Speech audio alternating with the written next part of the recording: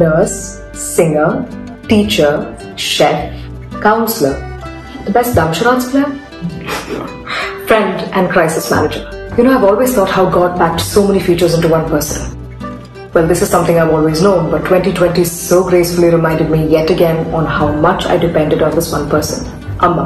This past year, when every cough, cold, nose block, or sore throat was more than just that, I remember traveling for work one day and feeling a bit under the weather. But an entire situation of panic was simply calmed by one phone call from Mum. Her reassuring voice put me at ease, helped me find the courage to finish filming and travel back home safely. Power of mums, you see words always fall short. So I'd love to give Amma a big hug and kisses. I know she loves kisses. So, here's to all the superwomen in our lives.